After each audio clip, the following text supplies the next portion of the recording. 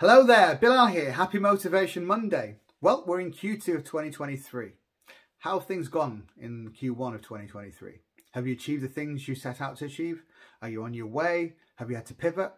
Whatever stage you're in right now of trying to achieve whatever goals you set for yourself, whether they are personal, professional, health related, doesn't really matter.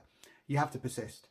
Now, for me personally, I'm on a business development spree right now, and I'm getting a gazillion no's or I'm getting a gazillion no replies. But I keep persisting because my goal outweighs the disappointments, but also I know that my company has something of great value to offer our potential clients that we want to work with.